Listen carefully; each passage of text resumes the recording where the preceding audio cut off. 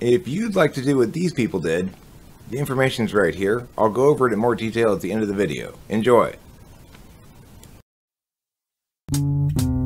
Talking, talking with famous people. How long do you think it's going to take you generally to, to figure out how you feel about it?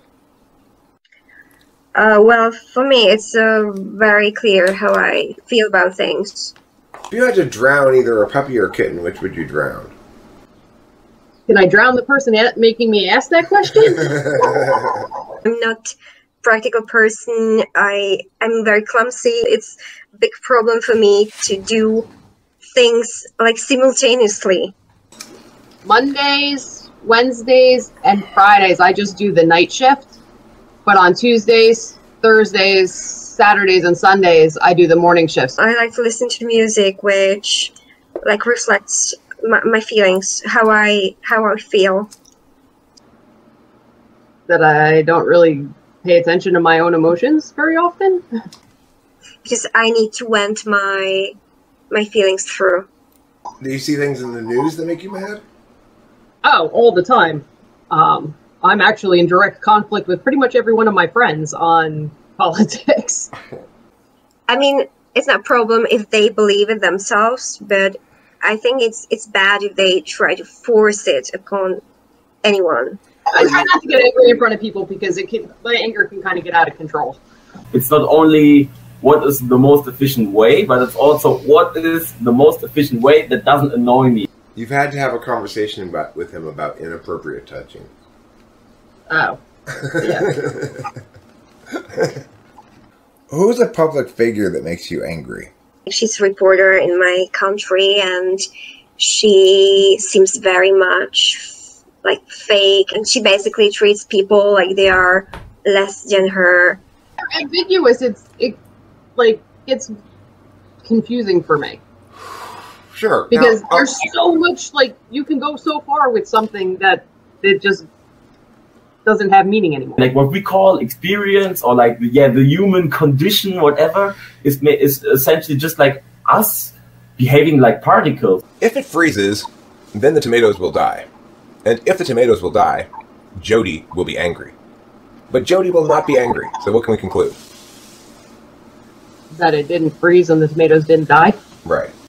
If the pineapples freeze, then they will die. And if the pineapples die, we won't be able to sell our crop. And if we won't be able to sell our crop, then we'll have to move. Fortunately, it turns out we don't have to move. What can we conclude?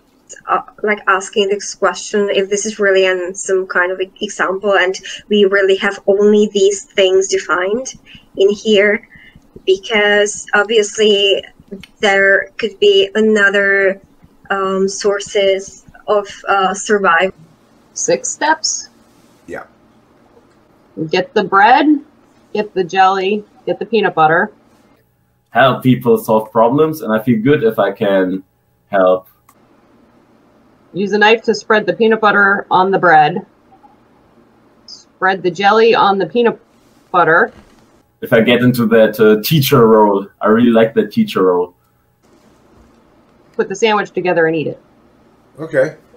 even with the eye stuff, I think, I, but I can't, I can't really put it into words. But a lot of times when I'm like confronted with like, let's say like a medical or like logical problem, I'm just like, How many uses can you think of for a bucket?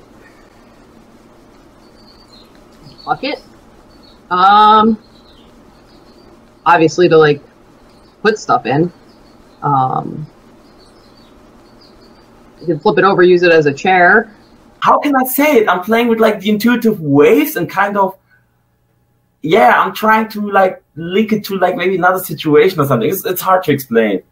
Um. Know. All the things I'm thinking of are things you put in it, so that would kind of be already the first thing I said. Um, that actually gave me a lot of insight into when I'm using or like some instances where I use SE. I know a lot of times like when I'm when I'm like let's say like I don't know, like it's taking too long. Like when I'm annoyed or something, I'm just like Let, us just do stuff, man. Let let's just let's just get going. Write two lines of a poem off top of your head, involving the word pillow. I'm not good with rhyming.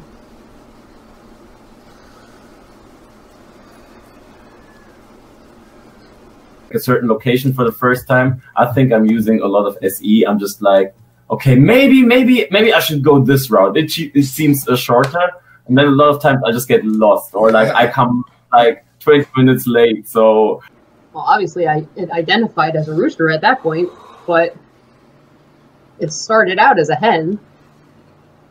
So we experience is like the experience of a particle, just like a set of photons and not like one giant wave. We only see like if asked of an ESTP or an ENTP, they'll probably pick a side. They'll say, it's a rooster or it's a chicken and argue that side. Because that's. Well, it's not a chicken. okay, what hen? That's TI right there. Extroverted intuition. Even if it's not like, let's say, 100% correct, I just like that metaphor. Are they identical? Yeah, they are. They are identical. Identical twins. Wow. Yeah, yeah. It was uh, less than one percent chance. Do you think they have different personality types? Yeah, I do.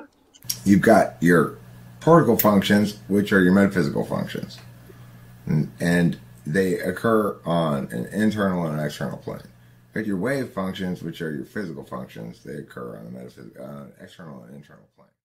First of all, thanks for watching, and if you liked the video, please thumbs up. If you'd like to get typed, it's just $100. You can publish it or it can be private.